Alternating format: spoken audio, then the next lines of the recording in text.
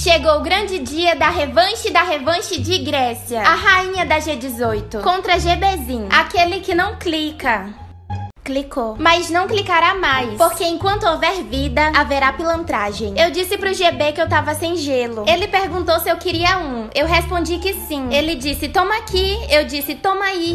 Otário. Depois dessa minha atitude, o universo começou a me castigar. Toda hora eu desmaiava. Foi então que eu decidi despertar a fênix que habita dentro de mim e renasci das cinzas. Foi um duelo muito tenso. Eu tinha que tomar cuidado com cada movimento que eu fizesse. Sempre me perguntando se eu fosse o GB, onde eu estaria.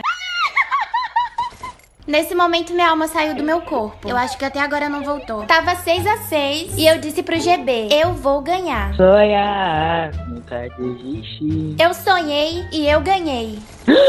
tá em choque, GB? Liga pro Batman, otário.